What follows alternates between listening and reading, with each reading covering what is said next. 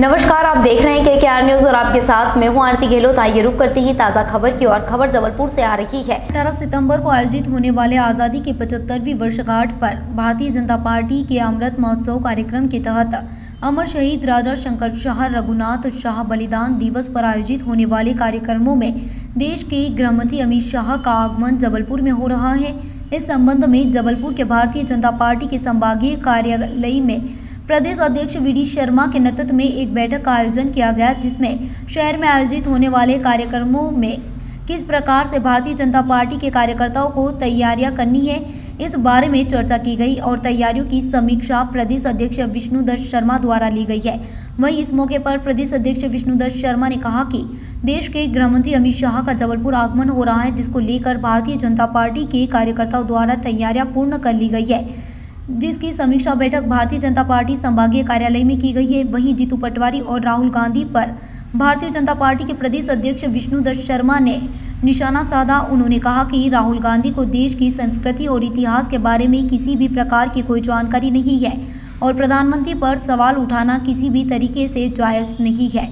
राहुल गांधी हमेशा अनाप शनाप बयानबाजी करते हैं, जिसका हकीकत से किसी भी प्रकार का सरोकार नहीं रहता। प्रदेश अध्यक्ष ने कहा कि बूथ स्तर की कार्यकारिणी पूर्ण हो चुकी है और देश के गृह मंत्री अमित शाह का जबलपुर दौरा ऐतिहासिक होगा, जिसकी तैयारियाँ की जा रही है। साथ ही रामायण और महाभारत को पाठ्यक्रम में जोड़ने जाने को लेकर उन्होंने कहा कि देश की संस्कृति व ग्रंथों को विद्यार्थी जाने जिससे कि देश की आने वाली पीढ़ी को देश के धर्म और संस्कृति के बारे में पूर्ण जानकारी हो।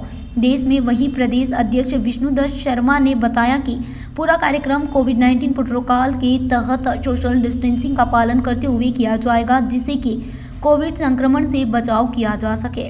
जबलपुर से वाजिद खान की रिपोर्ट।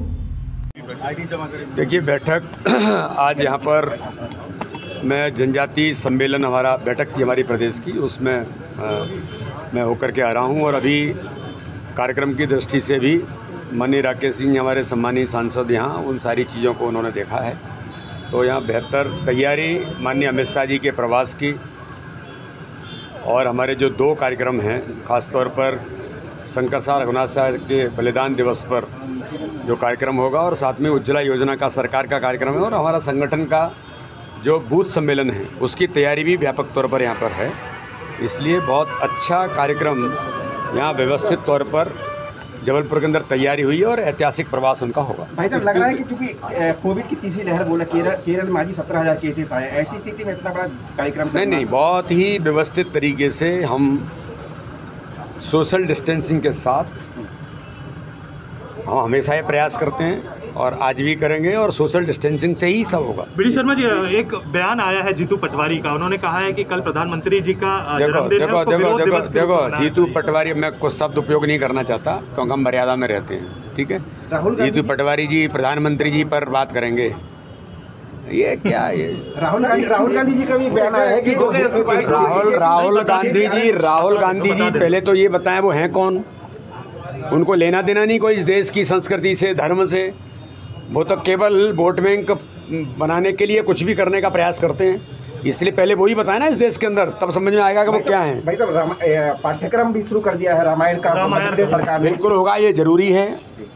हमारी देश और संस्कृति हमारे जो गौरव हैं उनके बारे में कोई भी विद्यार्थी किसी भी फैकल्टी का हो उनको इस प्रकार की जानकारी मिलनी ही चाहिए ये देश के लिए आवश्यक है। 500 वर्षों के लाखों लोगों के बलिदान के बाद आज प्रधानमंत्री नरेंद्र मोदी जी ने शिलान्यास करके राम मंदिर का निर्माण हो रहा है। तो ऐसे एक नहीं, धारा 370 जिसके लिए भारतीय जनता पार्टी बलिदान दे करके डॉक्टर श्यामा प्रसाद मुखर्जी का बलिदान हुआ और भारतीय जनता पार्टी बनी। आज हमें गर्व है कि 370 भारत माता के सिर पर लगा हुआ कलंक, वो मिटाए इस देश के अंदर। हमारी पीढ़ी इसके लिए भी गौरवान्वित है।